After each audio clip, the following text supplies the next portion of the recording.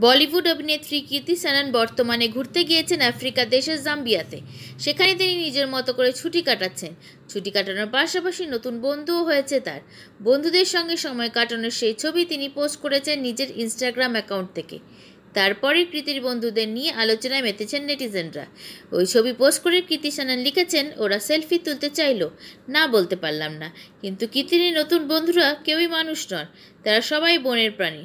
বনের সেই চেতারাই এখন কৃতির নতুন বন্ধু। নতুন বন্ধুদের সঙ্গে মিশতে কোনো দ্বিধা নেই কৃতি।